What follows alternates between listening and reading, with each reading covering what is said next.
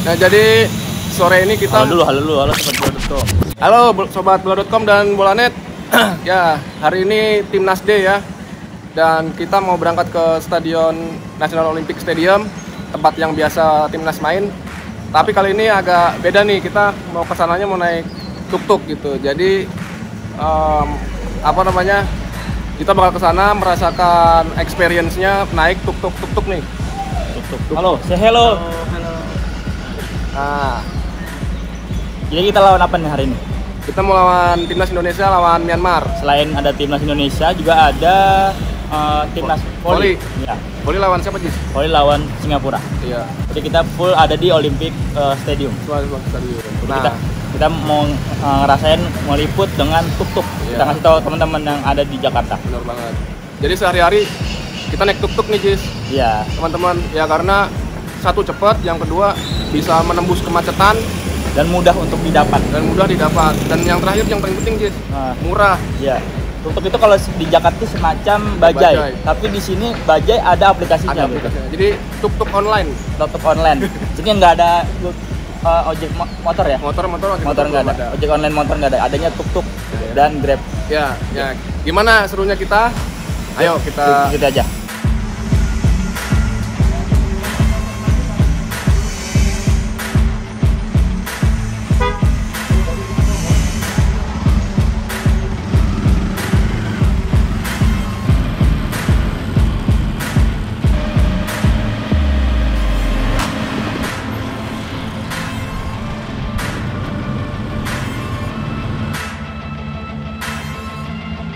Ya, sekarang kita sudah ada di dalam tuk-tuk ya. ya.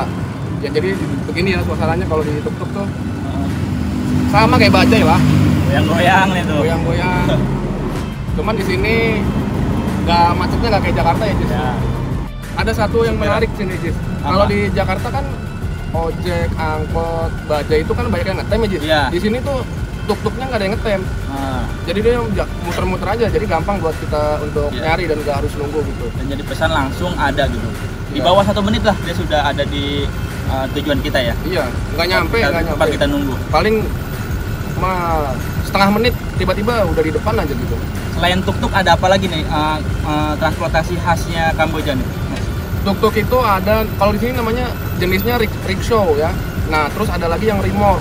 Remork itu kayak tuk-tuk sebenarnya, tapi eh, bentuknya beda aja ya. Iya. Kayak delman cuma ditarik sama motor dan tempat duduknya tuh ada depan gitu. Dan biayanya emang lebih mahal. Dan karena kalau karena kita berdua doang nih jadinya cuman eh, naik naik rickshaw juga, naik tuk-tuk juga udah opsi terbaik sih di sini. Ya. Uh, efisien dan murah. Ya. Terus terus terus Jis. apa lagi? Kenapa nih alasannya kita naik tuk-tuk? Uh, Itu karena Kamboja kan panas banget ya. uh, Nah di sini tuh anginnya kena nah, gitu. salah satu kita mendapatkan angin tuh pas lagi naik tuk-tuk. ya Hanya naik tuk-tuk kita bisa mendapatkan angin. angin angin sepoi-sepoi lah. Bahkan di ruangan kita di hotel kita anginnya susah banget ya. Anginnya susah. Hanya ada di tuk-tuk. Ya, jangan jangan curhat Jis. Kelebihan tuk-tuk adalah kita mendapat angin yang segar sekali. AC-nya di hotel rusak jadinya naik tuk-tuk tuh udah bahagia banget.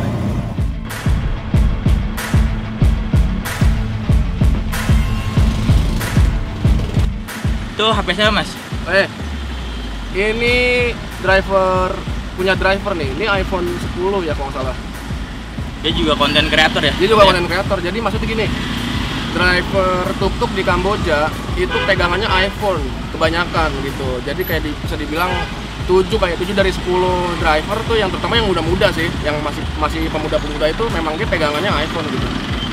Kita nggak ngerti sih dia gajinya berapa ya, dapat penghasilannya berapa. Cuman memang eh, kenyataannya di sini mereka itu punya iPhone.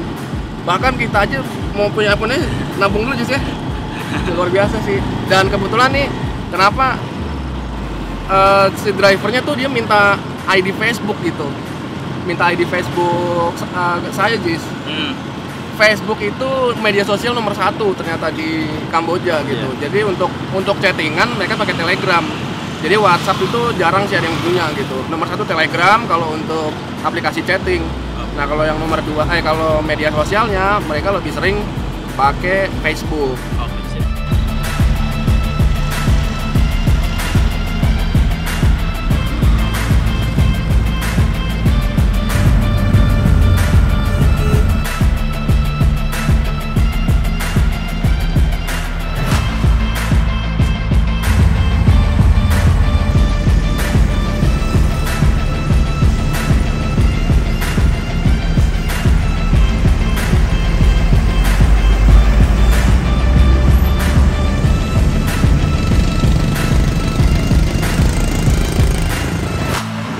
Kita sudah sampai di Olympic Stadium tempat timnas Indonesia melawan Myanmar di grup A SEA Games 2023 Kamboja. Ya, kita baru nyampe banget eh, setelah tadi sekitaran 5 menit lah ya.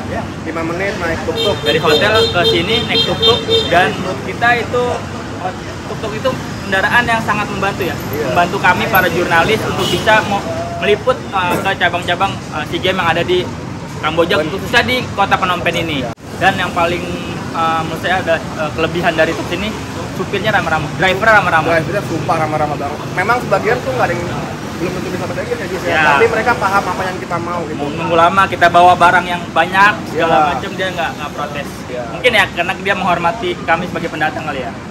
Nah ngomong-ngomong nih kita di depan stadion belum rame nih Jis. karena kita datang agak kepagian jadi Kerajinan ya? kerajinan jadi masih sepi oke masih masih belum bisa terlihat mobilitas para supporter Myanmar ataupun bahkan Indonesia Iya. dan kabar Indonesia juga akan banyak nih ya Iya. makin banyak supporter dari yang sebelumnya lawan Fil- Filipina Ya infonya dari apa kita punya info dari Permika. Permika itu Perhimpunan Masyarakat Indonesia Kamboja. Kamboja, gitu. Nah, beliau perwakilannya bilang bahwasanya nanti sekitar jam 2 jam 3 itu bakal ada di- distribusi tiket gitu. Jadi informasinya adalah eh, PSSI itu ngasih seribu lah, seribu tiket gitu ke Permika buat itu gratis ya buat siapa Gratis. aja supporter timnas Indonesia yang mau nonton eh, lawan Myanmar dan itu setiap pertandingan gratis. gratis semua di, jadi uh, perlu dikasih tahu ya kalau nonton tim SEA Games di Kamboja untuk semua cabang cab- cabang olahraga gratis Oke. Libur. Nah, hari ini kebetulan ada selain timnas Indonesia, ada timnas ada voli putra voli juga sama hoki kalau nggak salah tadi. Ya. Ya, nah gimana nanti pokoknya kayaknya kita nanti jam 2 ya, jam 2 jam 3 bakal uh, standby di tiket box sih nemuin apa teman-teman supporter gitu sih. Oke, gimana, eh, gimana keseruan kami meliput di Kamboja? Saksikan terus vlog-vlog selanjutnya hanya di Bola.com dan Bola.net. See you. Bye.